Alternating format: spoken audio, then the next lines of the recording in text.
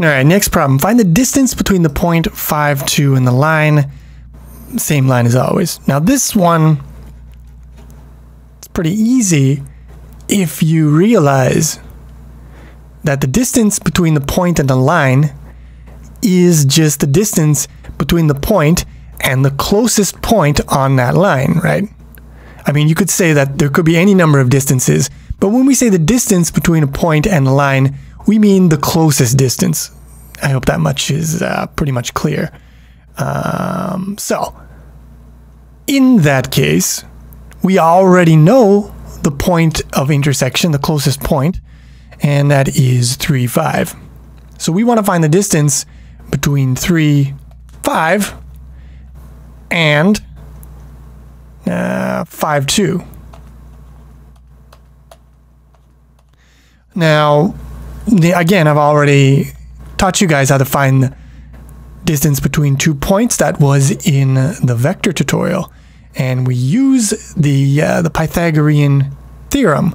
So we would say that the distance between these two points, just get a good color here, is going to be, uh, well, it's basically if this is uh, A, nah, that's not a good color for that, A, B, this is C, again, it's A squared plus b squared is equal to c squared.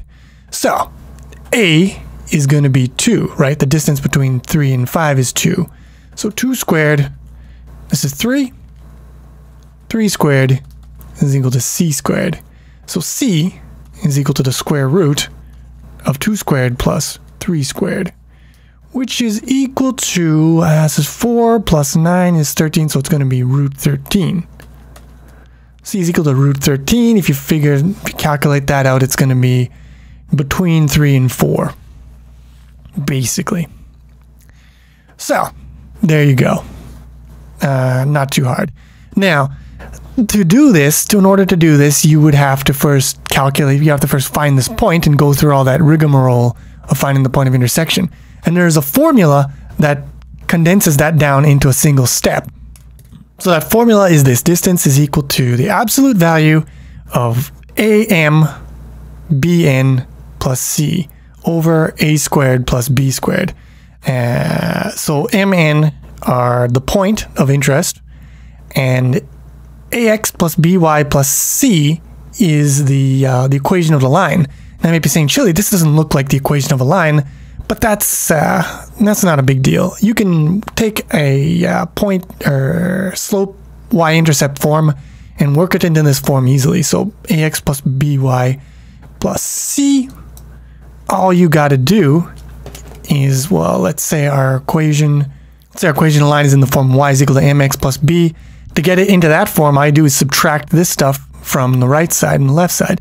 And so you would get negative mx plus y minus b is equal to 0. And then your a would be uh, negative m. Your b would always be 1. And your c would be negative b. So that's one way of, you know, reworking it. Uh, and then you could plug those into that equation and it would work fine. So yeah, just a bit of shortcut here if you find yourself needing to uh, calculate this value, and it does come up, so it's good to know. All right, next one. Determine whether the circle of radius 5 at 5, 2 intersects with the line. All right, well, 5, 2, again, are our same old points. So we want to know whether a circle of radius 5 centered here is going to intersect. Well, I mean, that circle is going to go from here to here. 1, 2, 3, 4, 5. So, I mean, it's definitely going to be intersecting this bad boy. We can see that here. But how do you actually compute that algebraically without drawing a diagram? Well, I mean, you know that um, all points, all points on the circle are going to be a distance of 5 from its center. So knowing that, if we take the distance of the center and we calculate the distance to the line, if that distance is less than 5, then we know that it must intersect with the circle. But if that distance is greater than 5, then we know that that line cannot intersect. So to find whether a circle intersects with a line, all you've got to do is do the shortest distance from the center to the line and then compare that to the radius. And since the distance here is going to be root 13, which is less than 4, we know that this, this bad boy is going to be intersecting. Our next one, determine whether the circle of radius 5 5 2 intersects with the line segment 6 7 to 12 11. Now I'm going to save you some of the uh, suspense here. If you plug these values into this equation, you will see that they satisfy it. So these two points are on this line. So this is the line equation for this line segment. So what we really want to know is, uh, well, first off, uh, 6, 7, 12, 11. Let's, uh, let's look at the points. 6, 7. And let's look at the point 12, 11. And we'll zoom out here. Wait. Well, I guess it wants me to put those around there. Yeah, there you go. There you go. Okay. So we do see indeed that they do fall on here, right? Uh, now the question is,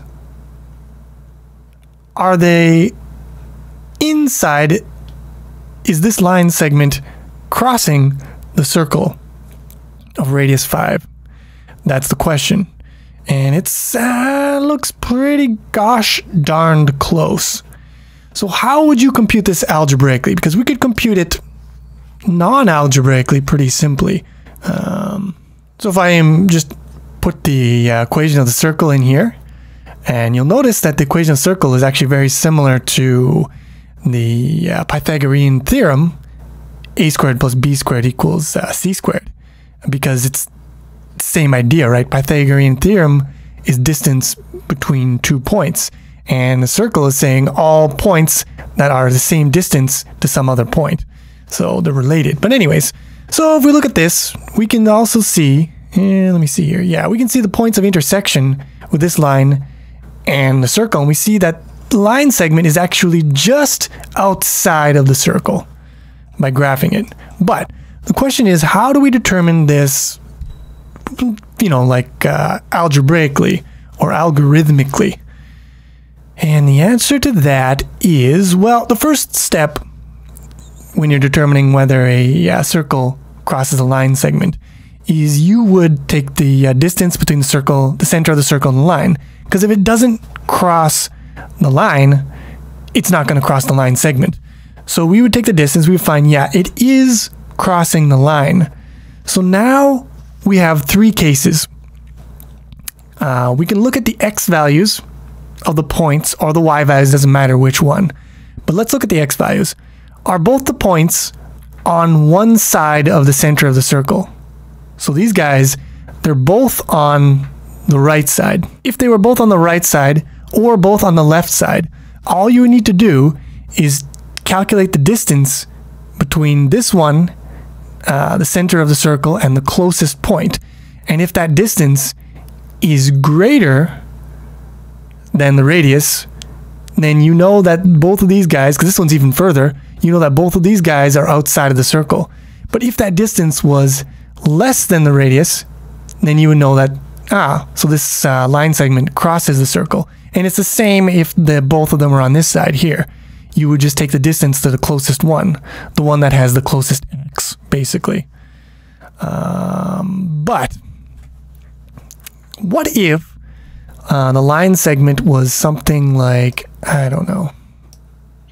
What what is a good point here? I guess this would be negative negative three one. So let's go negative three one. Yeah. So what if you had one line segment here and one line segment here? Well, you know that the circle intersects the line, and if the points of the line segment are straddling the circle, that means that the circle must be in between here, and for that reason, the circle must intersect.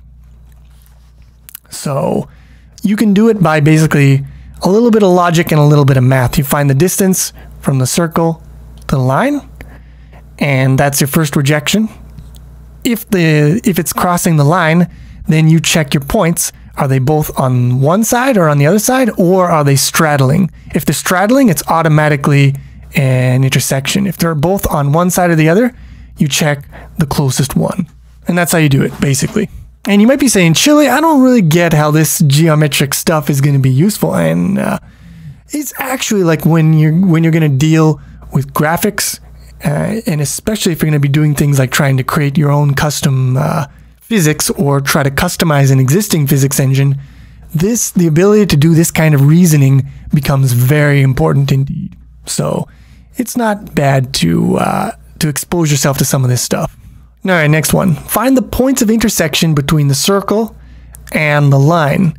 So in the previous question, I basically avoided, where is it? I avoided us having to calculate the actual points of intersection by using a little bit of logic and deductive reasoning.